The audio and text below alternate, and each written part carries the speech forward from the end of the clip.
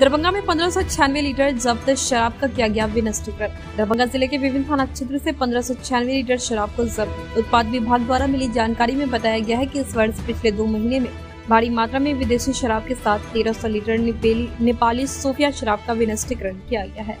कुल पंद्रह लीटर से भी अधिक शराब का विनष्टीकरण किया गया है। वहीं इस अवसर पर एक्साइज विभाग के दरभंगा के सुप्रिंटेंडेंट ओम प्रकाश तथा अपर समाहर्ता अन्य कई पदाधिकारी की मौजूदगी में यह तमाम शराब को नष्ट कर नाली में बहा दिया गया है।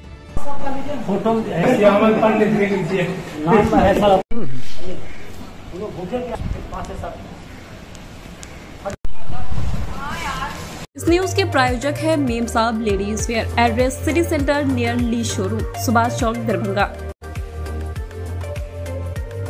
Nafeesa Hajj and Umrah travel, हज उमराह जियारत। 16 अक्टूबर 2023 अमाउंट पंचानवे हज़ार। Delhi to Delhi 15 days Saudi Airlines 10 November 2023 amount पंचानवे हज़ार। Delhi to Delhi 15 days Saudi Airlines 20 December 2023 amount पंचानवे हज़ार Delhi to Delhi 15 days Saudi Airlines 15 January 2024 amount पंचानवे हज़ार Delhi to Delhi 15 days Saudi Airlines package inclusion air ticket Umrah visa hotel insurance food round trip transportation by bus जियारत Zamzam laundry documents required passport तो passport size photo PAN card इस बार हज उम्र का programme ये है।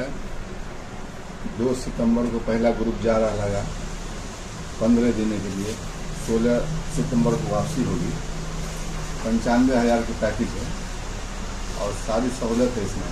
खाने से लेके लॉन्ड्री इंश्योरेंस ज्यारत मक्के की मदीने की सब इंक्लूड है इसके अंदर।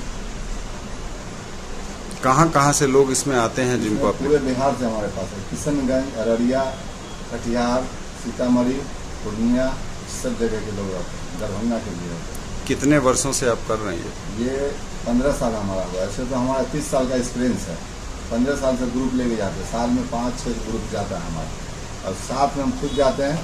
सारा मेंटेनेंस अरेंजमेंट हम खुद करते हैं। इसमें किसी इन्वॉल्व